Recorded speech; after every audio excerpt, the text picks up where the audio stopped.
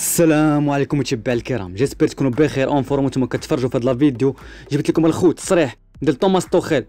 بعد الماتش الأخر دوا على المنافسين ديال المراكز بحال حكيم زياش وكاي هافرز واودوي هاد الهضرة علاش تقالت حاليا أودوي تيقولوا بعض المصادر بلي قريب يخرج من تشيلسي وباغا ليستر سيتي وباغا أيضا دورتموند بقوة. الموقع ذكر بالكلام ديال توخيل بعد المباراة على أودوي والمنافسة ديالو مع حكيم زياش المهم الخوت الكلمات اللي قالها راه مهمة ديال بصح وغتقربنا كيفاش كيفكر والعقلية ديالو والاعتماد على اللاعبين ديالو في هذا الموسم. نبدأو بشنو قال؟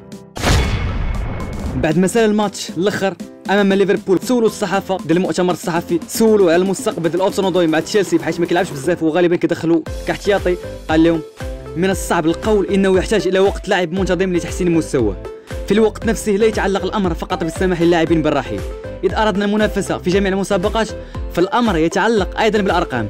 أنت بحاجة إلى فريق من 20 إلى 21 لاعب. وقال أيضا لكي نكون منصفين تماما نستخدمه أحيانا كظهير جناح على الجانب الأيمن وهذا ليس أفضل مركز له. لقد فعلنا ذلك في كأس السوبر لأنه كان لديه استعدادا جيدا هذا الموسم وكان قادرا على اللعب لمدة 90 إلى 120 دقيقة لنا.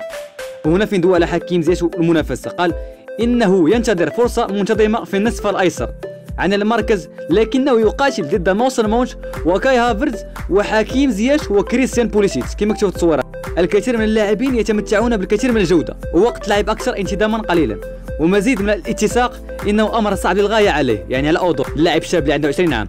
هذا ما أوافق عليه لكن لا يتعين علينا أن نشعر بالأسف تجاهه.